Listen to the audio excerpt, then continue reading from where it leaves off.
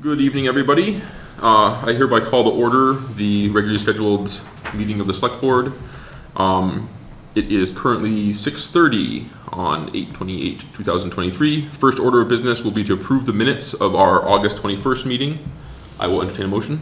All right, motion we approve the minutes. Second? All right, we have a motion made and seconded to approve the minutes. All those in favor? Aye. Aye. Aye, three, nothing, Jeff. Alrighty, uh, new business. First order of business is our trench permit policy. Yeah, so it came to my attention that I don't think that the policy we had on the books was exactly what was being followed. um, so after discussions, I, I guess the background is in 2009, the select board appointed the building commissioner and fire department to issue trench permits. Um, a month later, they added the board of health. Uh, the fire department said we have not done trench permits since the current fire chief has been there. He doesn't believe that they did it while he was the assistant chief. Um, the building commissioner said, yeah, I do trench permits, and the board of health said, if our agent can just say that a trench is okay for a Title V, they don't, they don't want to be involved in any other type of trenches, just if they're putting septic in, that would be great. Um, and the other thing was the amount of the fee. It was set at twenty-five dollars in two thousand nine. Um, right now, our lowest fee, um, for a permit is eighty-five dollars, I think. So the recommendation would be that the building commissioner is the only person responsible for trench permits. Trench permit is eighty-five dollars. However, if it's a trench permit for, uh, Title V, then the Title V agent can auth, or, or can approve the trench. Okay, that makes sense. Question? Any discussion? How many trench permits do we do a year? Uh, not very many, which is why this hasn't come up earlier. I mean, are we It's just- talking like under ten? Um, I, I think it depends on probably the Title Fives and how many sales, but I would say yes, under ten. We do it for footings and stuff like that? Do they? So uh, it depends how deep, you know, it depends. Yeah. Um, Okay, so it's mostly Title V. it's mostly Title Five if there's a new sewer connection or something like that. Okay. Um, But like, and again, just out of curiosity, like when Eversource was putting in the trench to go down to do that, is that a permit? uh, that would, yeah, I believe that would be. You know what I mean? So like commissioner. Yeah. underground Yep. services, electric, Yep. water. Is there a separate one for road openings? For road, I. Yeah, sometimes if you, think so, if you do it, but like, that's a if you need to question. tie to a train, like tie to the sewer in the road, they, they, we call it a road, we call them road opening permits, but it's just different. Sometimes Yeah, I mean, It's the same kind of thing. It's a Yeah, we trench. check with the highway super if there, if it, there is gonna be an impact on the road, um, but it's a good point. They got no problem with it. I'm, I'm comfortable with the Yeah. recommendation. I am Right. too. I will entertain a motion to approve the recommendation as stated by Jeff. So moved. Second. All right, We have a motion made and seconded. All those in favor? Aye. Aye. Three, nothing. Alrighty, uh, next up is, uh, awarding design contract for the pickleball courts.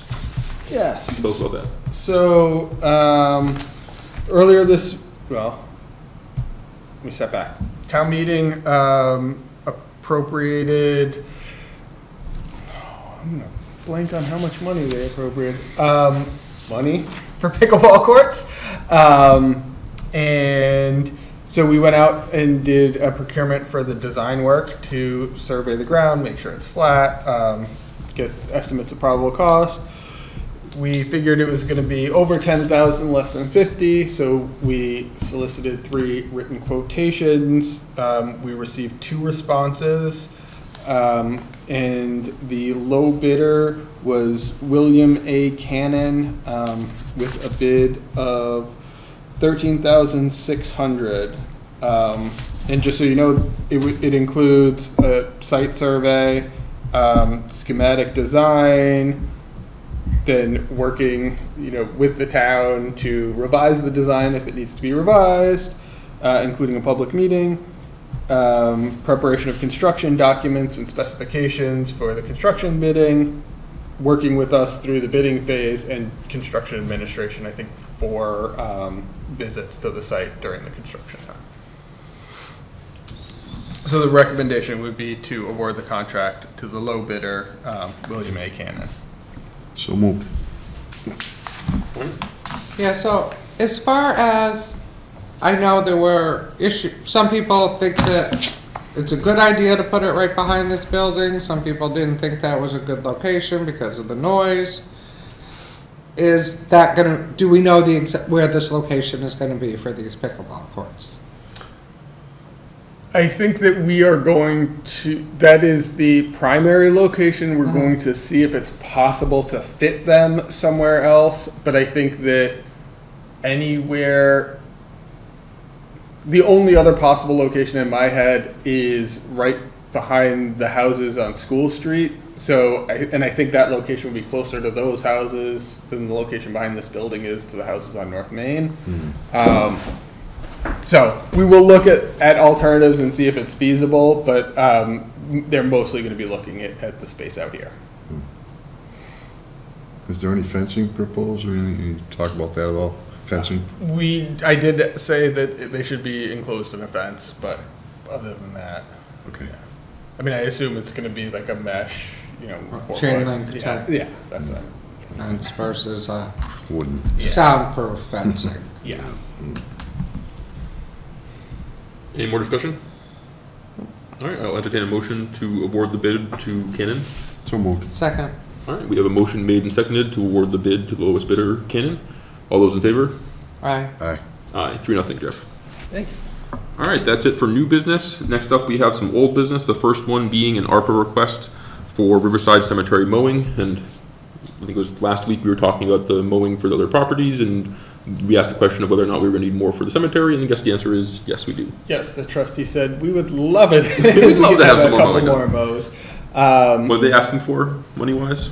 So I, I am asking for a thousand. I had uh, reached out to Mr. Ahern and have not heard back yet, but I figured about a thousand for the four mows here, about a thousand at the school, and the cemetery is smaller, but it's more things, obstacles. Say up to a thousand. Yeah. And if it comes in I think lower than that- that, great, and if not, you know, you can always come back And to then us if he it ends up gets back to you and says, I don't need to do any extras there, then Yep.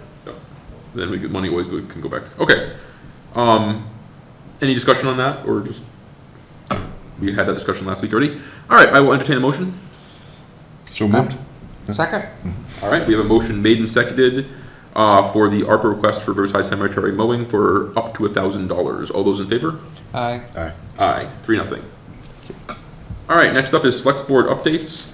Um, I don't have a lot, I just wanted to just say, uh, today I was driving over here following behind a tractor pulling, uh, tobacco and very slowly looking out the window at the beautiful fall landscape and just thinking about, man, we live in a gorgeous part of the world.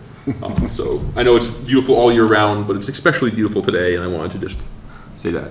Um, anyone else have anything they wanna bring up? I got, I got one, actually. I want to take a couple minutes, too. I've been, uh, uh, let's see, before I joined the board, in my regular job, I spent a lot of time thinking about bike networks and roads and all that kind of stuff. And I think about that for 116. I also went to UMass, and I used to live in North Village, which is the married student housing in the back. And there's an old maintenance road that goes down in the back and come, pops out of the Mullen Center. So kind of get the gears get going, and I started thinking about kind of a shared use path that would come from here all the way to there, if it could sneak through the back, through to UMass. So I started emailing, just did the camp, I know some of the guys over there at facility planning, I know the town engineer in Amherst, so I was just kind of fishing for ideas and floating this thing as, as a possibility. So, um, and I mentioned it to Jeff a little bit, just, you know, since I've been on the board. Um, and UMass, I, I- I don't, I can be a pest, so I, I was, I was a pest to numerous people at UMass. Well, I think we also know somebody who's in the facilities department there, or like Yeah, that, you no, we know, do. possibly might be able to. We do. So anyway, um, on that end of things, um, as you know, uh, it basically comes up the west side of UMass Maintenance Road by University Village, which was Old North Village. Then there's an electric easement that keeps going. It goes over a couple small creeks and then pops out right at Meadow Street. From Meadow Street, Mass DOT has a huge, a big right-of-way all the way to Sunderland line, and then it's still pretty big all the way to town. There's one neck down at Bull, Bull Hill, it necks down about sixty feet, but that's the narrowest it ever gets. So there's room to do something. I'm, I'm not a big fan of just paint-only bike lanes, so I, I kind of push towards find something separated. Um, if you can put it on, a uh, you know, on a curb, that's even better. Um, so basically coming through town, and then whatever we do in the village center, you know, work our way through that. But then over the bridge, and then ultimately to Sugarloaf. I mean, it's a beautiful corridor, and you've got the Norwottuck Trail, which already is there in Hadley and Amherst, and comes all the way to UMass. So it seems like a natural, a natural piece to make a new connection, bring it to Franklin County. So it's a long-term, big thing that would take, you know, take decades, or a long time. I mean, the, the bike path that leads from Amherst to Northampton is amazing. Yeah, yeah, yeah. Oh, yeah. I've, it's been around since I was a child. No, I I've know, I enjoyed know, it, and yeah. you know, I think it's a, it's a great idea. Um, if we can link into, you, if we can link UMass to Sunderland, all the better for, um, you know, pe- people being able to enjoy themselves and. Sure, and all the students, if they could commute, they could do parking, they could do parking ride lots, you could actually build a lot like just north of Meadow Street, you could put a parking lot in there. Mm. People who wanted to drive and then get on their bike or walk could do that too, I mean, it's a, there's a lot of possibilities. Anyway, it's a long-term thing, it's a DOT control road, it's a Yeah. controlled roadway, so they obviously have to, you know, weigh in, it's their road, they can decide. But I'm trying to just get them to think about planning for this corridor.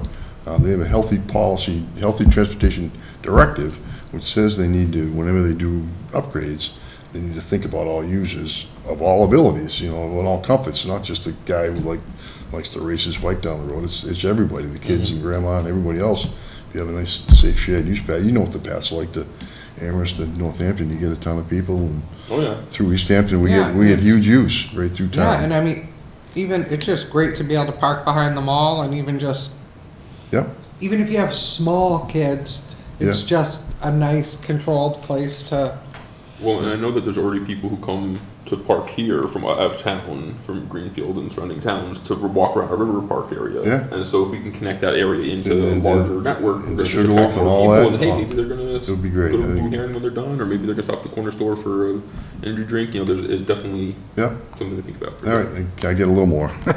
As I've learned about this, I've learned kind of quietly that DOT's planning a bridge project, but mm-hmm. it sounds like it's gonna be low-key, it's, I haven't, they haven't got it officially yet, and they're gonna roll it out at some point. But I think it's just, uh, kind of a paving job, and then maybe with some paint, because they have, right now, there's forty feet from- curb to curb. You get two 12-foot lanes and two, um, shoulders of eight feet. So they may, they may just put, you know, five-foot lanes on the edges, but I- just think about the people who are gonna ride up that, not, not that many. Well, they'll get in the sidewalk, but, um, so I'm trying to encourage them to do more. I sent them some sketches, I'll, I'll give them to you after. But, uh, so I'm just hoping if I uh, keep, keep reaching out, and the last thing I'll say is, I did, I met Trevor McDaniel, one of the select board members, because it's their bridge, and most of the bridges in Deerfield, so I reached out to him just to tell him what I was thinking about.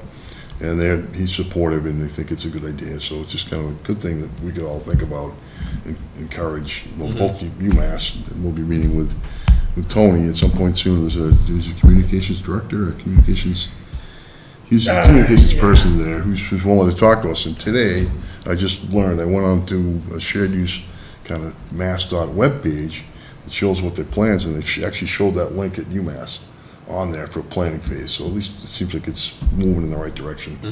Um, so anyway, any support, any thoughts you guys have is great, oh, and yeah. I'll just I mean, keep, keep working at it. I love the idea, and and also you, you- you brought something up that I wanted to just highlight, which is that um, I'd like us to, in general, try and be more active with other select boards in the area, because we, so much of what we do is tied to Deerfield. So much of what we do is tied to Whately and Conway and um, in Amherst, and, you know, eh, what's happening in a couple days? UMass move-in, does that affect us? Of course it does! So, um, just in general, I think it'd be good for us to try to, you know, have more communication with the other select boards in the area, so I'm glad to hear that you're talking to. All right, one last fast, a fun fact for you. Did you know that the Sunderland Bridge is the highest daily traffic in all of Franklin County, first, besides the interstate? And if you include Hampshire County, it's number five.